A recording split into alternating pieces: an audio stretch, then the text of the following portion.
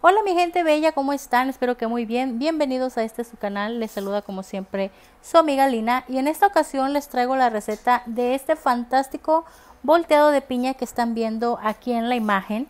Se presta muy bien para ahorita que vienen esos días festivos como el Día de Acción de Gracias, Navidad, lo pueden vender, lo pueden comer en casa, regalar o hacer con él pues lo que ustedes gusten.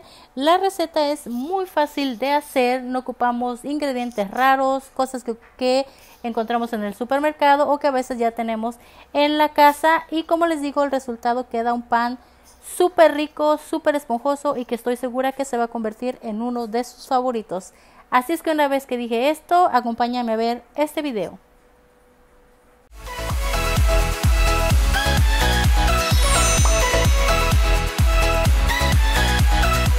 Y ahora sí, para comenzar a preparar nuestro delicioso volteado de piña, una de las cosas que ocupamos pues es, eh, vamos a ponerle un tipo caramelo, no es tanto como caramelo, es nada más azúcar como que se va a derretir encima de nuestro volteado de piña.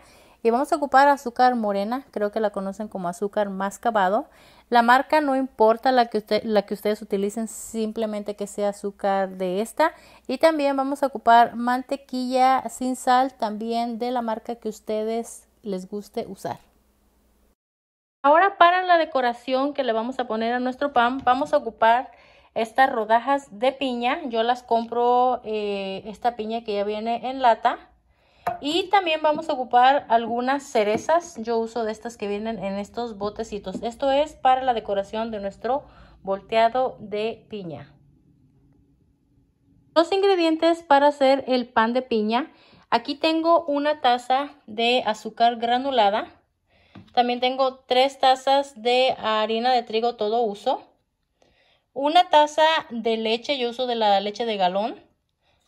Una cucharadita de eh, extracto de vainilla. Pizca de sal. Una taza de aceite, yo uso aceite del de la cocina, utilizo el mazola. Puedes usar el que tú gustes. Tres cucharaditas de polvo de hornear. Revisen bien, que su polvo de hornear no esté, eh, que todavía esté vigente, que no esté caducado. Eso es muy importante. Cuatro huevos a temperatura ambiente. Y aquí tengo eh, una taza del el jugo de piña. Estoy utilizando el jugo que venía en esta lata. También vamos a utilizarlo porque le da muy buen sabor a nuestro pan. Esta parte que dije que es una taza de jugo de piña es media taza, mil disculpas, ¿ok? Es media taza. De cualquier manera le voy a dejar las cantidades en la cajita de información y también se las voy a dejar en gramos. Y también para las personas que me preguntan cuál es la cucharadita, yo utilizo la que dice 5 mililitros. Este es la cucharadita, es un teaspoon. Y también cuando les hablo de tazas, yo utilizo la taza de 250 mililitros mililitros. Tengo el set de estas tazas y estas son las que utilizo siempre. Yo voy a hacer mi volteado de piña en uno de estos moldes, pero tú lo puedes hacer en cualquier otro molde de otro diseño o un molde nada más redondo de esos que utilizamos para los pasteles, pero pues como yo tengo este aquí a la mano es el que voy a utilizar. También se me, se me olvidó comprar, normalmente compro un spray que es de mantequilla que nada más le pone uno aquí rápido, pero como les dije pues se me pasó pero eh, lo que voy a hacer nada más es ponerle un poquito de aceite. Vamos a ponerle un poquito de aceite. Y bueno, pues con una servilletita vamos a, a ponérselo por todos lados. Esto pues es para, para evitar que se pegue y de esta manera va a salir mucho más fácil nuestro pan. Así es que nada más vamos a ponerle bien el aceite. O si tú tienes ese spray que te digo de mantequilla, que es eh, para que no peguen los panes, pues mucho mejor. Así es que de esta manera vamos a preparar nuestro molde.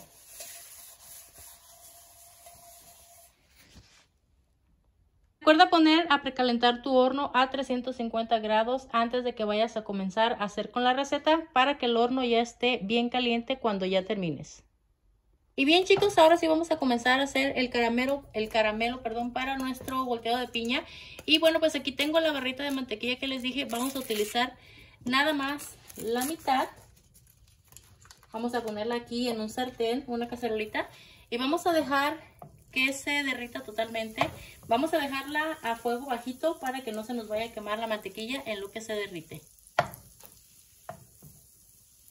Ya cuando miremos que ya casi se derritió totalmente, ahora sí vamos a poner nuestra media taza de, de azúcar. Nuestra azúcar morena, vamos a ponerla toda aquí.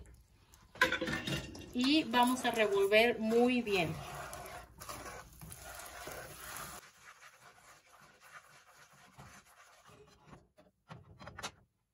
Vamos a poner el azúcar que hicimos aquí, el caramelo. Vamos a ponerlo aquí.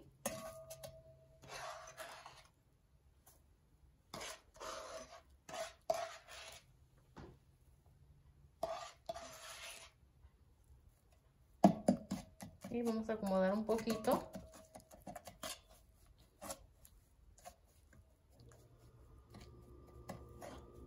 Que esté igual por todos lados. Y ahí vamos a dejar. Notaron, a mí me gusta ponerle bastante mantequilla porque también me gusta ya cuando volteamos el pan que también la mantequilla ayudó para que nuestro volteo de piña quede más brillosito, también le da un poquito más sabor porque lo absorbe y pues también lo hace lucir más bonito. Y bueno, pues ya que tenemos el azúcar aquí, Ustedes también como vieron hay unas partes que estaba tratando de agarrar el azúcar en dado caso que no quieran ponerle todo lo que quedó de mantequilla o incluso si no quieren ponerle la media barrita de mantequilla simplemente pónganle un cuartito de mantequilla y la media taza de azúcar y con eso también es suficiente. Y pues ahora sí vamos a empezar a decorar nuestro pan primero antes de hacerlo. Y pues aquí tengo estas rodajas de piña que les dije que compro de lata y se las vamos a acomodar. Yo se las voy a acomodar aquí a este molde, pero ya les dije que si ustedes quieren ponerlo en uno de pasteles, simplemente hagan el mismo paso y pues como esos, esos moldes son planos, pues acomoden las piñas como ustedes vayan mirando, ¿ok? Yo aquí se las voy a poner de esta manera.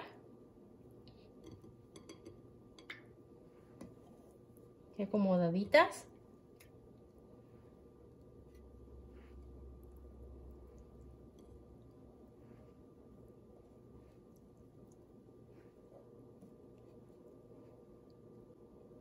Y también aquí mismo voy a ponerle unas cherries. Les vamos a quitar el palito si es que las de ustedes tienen y vamos a ponerla en medio. Este pan va a quedar riquísimo, amigos. Muy rico, que estoy segura que si lo preparan les va a encantar. Y bien, pues aquí tenemos ya la decoración de nuestro pan. Ahora vamos a preparar, ahora sí, el pan.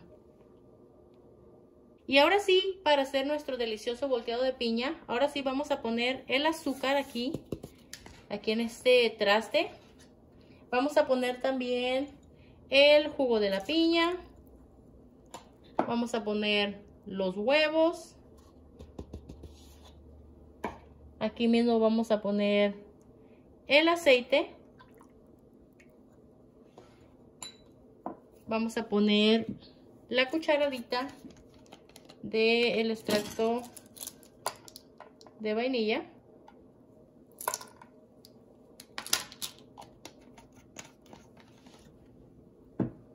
Y también vamos a poner la leche. Y vamos a revolver muy bien. Yo lo voy a hacer con este batidor, pues por si ustedes no tienen batidorcita de dos aspitas o de ninguna, con un batidor se puede hacer este delicioso volteado de piña. Muy fácil. Vamos a revolver esto como por unos dos minutitos. Ahorita regreso.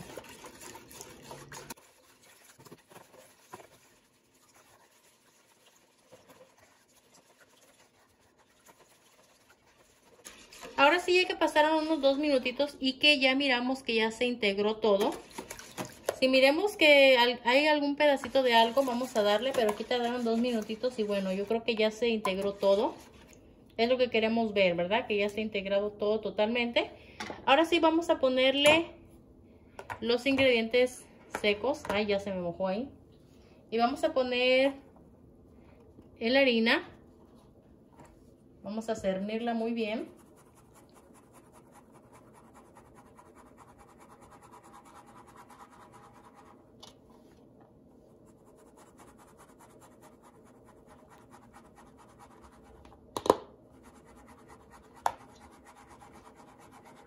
El polvo de hornear.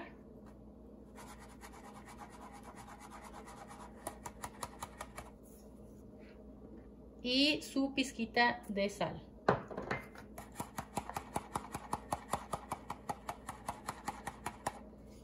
Y ahora sí vamos a revolver muy bien.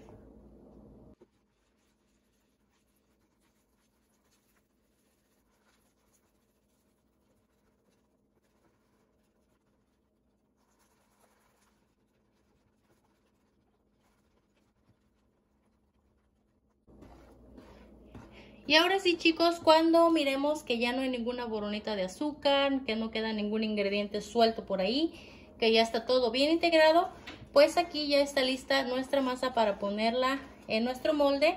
Y como observan, queda una masa un poquito espesa. Miren qué bonita está. Y ahora sí la vamos a poner en nuestro molde.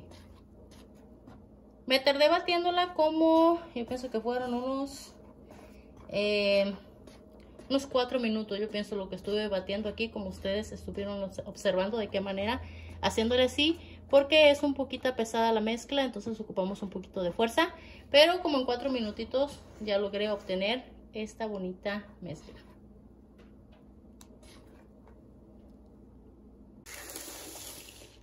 Aquí tenemos ya nuestro molde y pues vamos a poner todo esto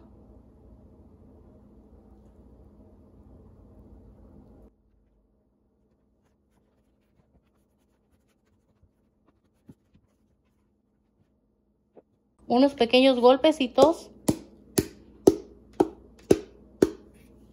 y está lista para llevarla al horno. Les platico rápidamente que si ustedes no tienen un molde de este, les mencionaba que pueden ponerla en un molde normal para pasteles y esta cantidad les cabe muy bien en un molde número 9, es de 9 pulgadas y si es en centímetros este molde es de 23 centímetros. En este molde les queda muy bien esa receta. Ahora sí, a hornear.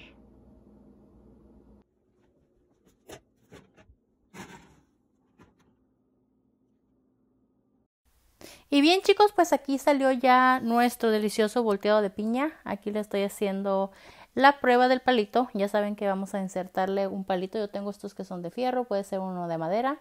Y bueno, pues tiene que salir totalmente limpio y esa es la seña que nuestro pan está ahora sí en su punto. Miren cómo esponja, quedó bien esponjosito hacia arriba. Hay muchas personas que les cortan esta pancita para que su volteo de piña se vea totalmente parejo, pero pues a mí me gusta ponerse a dejarlo de esta manera. También aquí ya lo había dejado enfriar como por unos 15 minutitos, no lo dejen enfriar tanto porque si no va a ser mucho más difícil sacarlo del molde, tiene que estar todavía un, poquito caliente y de esa manera va a ser mucho más fácil desmoldarlo. Y pues aquí ya lo tenemos listo. Eh, una cosa que noté nada más que pues como puse las cerezas y todo, y todo, perdón, eh, con el azúcar cuando pues ya se está derritiendo arriba me tapó un poquito las cerecitas y bueno, pues cuestión nada más de con una cucharita y hay un poquito de paciencia, le quité un poco el azúcar que quedó como vamos a decirlo atorada arriba. Y bueno, ya después de limpiarlo un ratito, aquí está el resultado. Ahora sí les destapé un poquito las piñas. Y bueno, pues ahora sí se ve su color doradito, así bien eh, con ese azúcar que se mira como acaramelado. Y pues ahora sí se ve muy bonito y por supuesto que está bien delicioso. Como les mencioné hace ratito, cuando puse a precalentar mi horno lo puse a 350 grados, pero ya cuando metí el pan lo bajé a 325 porque últimamente he estado horneando mis panes a 325 para darles que no estén como cocidos rápido, ¿me entiendes? Que estén un poquito más cociéndose lentamente y siento que se esponjan aún más, quedan más bonitos. Bueno, entonces lo puse a 325 y me tardó una hora con 5 minutos. Si tú lo pones como a 350 grados y lo horneas así, te va a tardar más o menos unos 45 minutos en lo que ya está listo. Y bueno, pues ahora sí llegó la hora de partirlo. Ya aquí lo había dejado enfriar nada más como unos 30 minutos. En realidad todavía estaba un poquito tibiecita. Y bueno, aquí se las estoy partiendo porque quise compartir con ustedes también que miren cómo queda la rebanada. Quiero que vean cómo queda este pan de esponjoso. Me gustaría de verdad que estuvieran aquí en mi casa cuando estoy horneando. Siempre me dicen los vecinos, ya estás horneando, ¿verdad, vecina? Porque hasta acá nos llega el olor, ya tu casa huele a, panadería, a dulcería y de todo un poco, pero lo bueno que me dicen que huele bonito, ¿verdad? Bien, pues aquí les enseño cómo queda eh, este volteado de piña. Eh, queda más o menos la miga como un panqué, pero queda aún más esponjoso. No vamos a hablar del sabor porque queda súper delicioso, amigos. déjenles platico también rápidamente que vieron que puse, que le agregué leche y el jugo de piña, ¿verdad? Fue una taza de leche y media taza de jugo de piña. Si ustedes quieren cambiarlo y agregar la taza de jugo de piña y al revés media taza de leche, también pueden hacerlo en dado caso que quieran todavía incrementarle más el sabor a piña a este pan, porque en realidad los volteos de piña tienden más a tener el sabor porque las rodajas de piña cuando lo cortas pues le da un poquito de sabor, no es tanto tanto el sabor del pan. Entonces si quieren invertir eso, poner más jugo de piña que leche, les va a quedar aún el pan más con ese sabor a piña un poquito más concentrado. Claro que esto que les digo es totalmente opcional. También si se preguntan si pueden cambiar el aceite por la mantequilla, también pueden, pero últimamente me ha gustado más trabajar con recetas de aceite que contengan aceite que con la mantequilla porque pues me gusta que mis panes queden, queden más suavecitos y he notado que con el aceite quedan más. Y recuerden que les digo que pues cuando ponemos los panes que son a base de mantequilla en el refrigerador pues quedan un poquito más duros, pero cuando ya los sacamos pues tienden a suavizarse, pero de cualquier manera ya me gustó más trabajar con recetas que tienen aceite. Y pues aquí como ven no me pude resistir y empecé a comerlo. De verdad que me gustó comérmelo así que todavía estaba tibiecito el pan porque se sentía pues todavía calientito, recién hecho. Eh, me gusta me gustaría que observen aquí cómo queda, les digo, la miga, queda súper esponjoso. El sabor queda muy rico. Por ahí adelantito les dejé, eh, les escribí así, que pueden utilizar esta receta para sus pasteles también. Eh, pueden utilizarla como pan de vainilla, nada más pónganle, les digo, un poquito de, cámbienle eh, la leche por jugo de piña y este mismo pan pueden utilizar les digo, para sus recetas de pasteles porque queda muy bueno. También se me ocurre que también quedaría perfecto si le pusiera un poco de tres leches porque como el pan queda muy esponjoso, me imagino que también lo absorbería, así es que más adelante creo que voy a hacer esa prueba porque así se me antojó también. Y bien chicos, pues de esta manera llegamos aquí al final. Aquí les dejo ya esta rosca. Si la llegan a hacer, ahí me dejan en un comentario qué les pareció esta receta.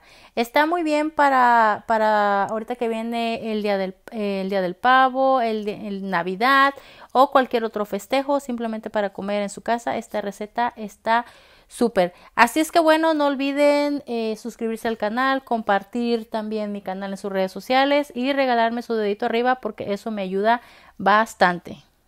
Así es que bueno, espero que les haya gustado este video. Si les gustó, les pido que me apoyen con su like y aquí nos vemos en muchos más videos que están por venir. Bye bye.